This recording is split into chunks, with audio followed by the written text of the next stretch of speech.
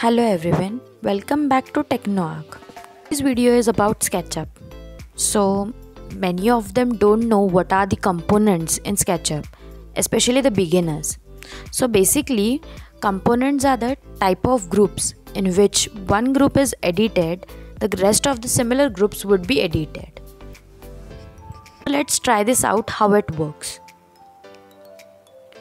First of all, we will draw a square or may say rectangular by clicking R. Then we are going to pull it up by clicking P. So, for making this element a group called component, we will triple click on one face of the element, which will select all the connected faces.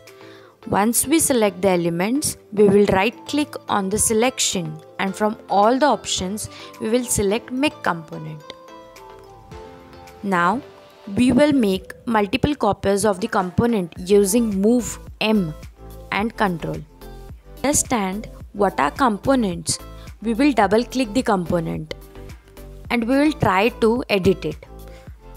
Now if I am using push pull for one group, all the other similar group also get changed. Or if I am adding some lines to the component, it gets added to the other groups as well. These are what known as components in SketchUp. Thank you.